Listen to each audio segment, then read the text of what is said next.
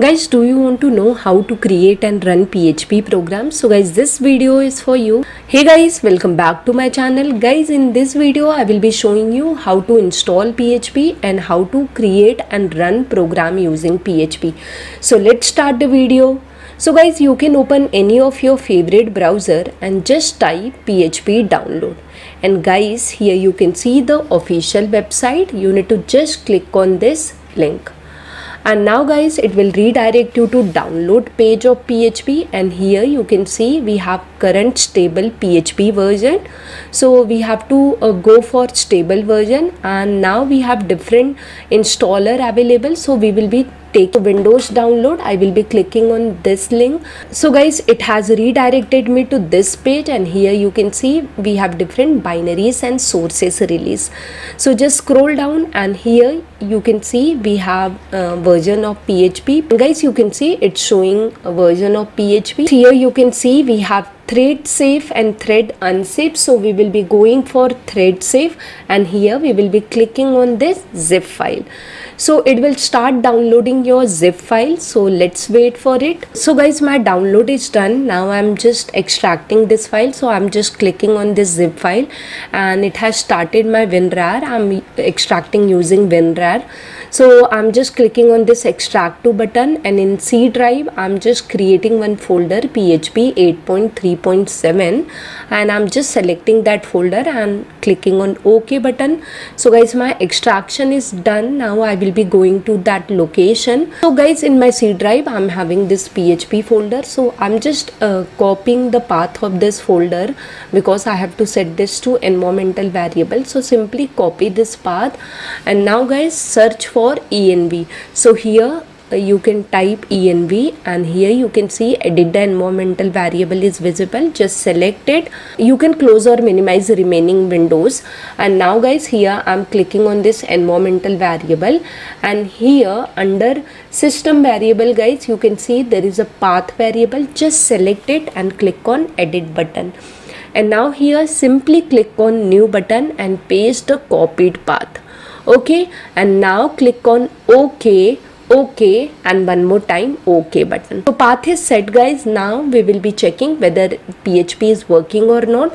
So just open your command prompt. So simply search cmd and guys my command prompt is started. And here i will be typing php hyphen hyphen version.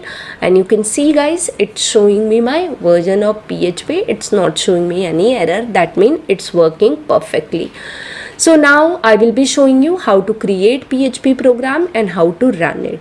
So guys, I'm quickly creating one folder on my desktop with a name CS Corner.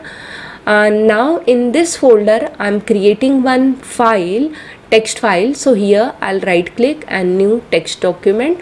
And now I'm renaming this text document. I'm giving name as demo.php and let me just hit enter guys and here you can click on yes button so now uh, file has been created. Let's uh, open this file with notepad. So right click and open with notepad. And here I will be typing a simple PHP code. So here is my code less than sign question mark PHP and echo command I'm typing. In that I'm typing this simple message and I'm closing my command. Okay so code is done guys. Now let's save it. Yes that's done now I will go back to my folder again and here I will be starting command prompt. So simply type cmd and hit enter. So you can see command prompt has been started with the same path where you have saved your program. And now to run your program just type php space your program name and extension. So php space demo.php and hit enter guys and boom guys you can see your output so whatever you type in your code you are getting over here. So guys this way you can install php and you can create and run your program. So i hope guys by following my video you are also able to install it and run your first program. So guys if really my video has helped you then don't forget to hit on like button. And if you have any query you can put in comment box.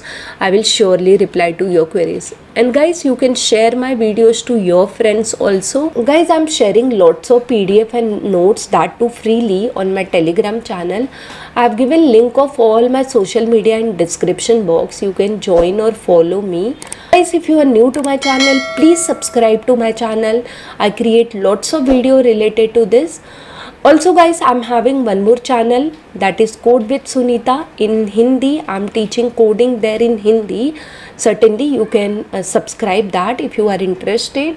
Thank you guys for watching my video till end. I'll see you in my next video. Till then bye bye take care. Keep learning. Keep watching guys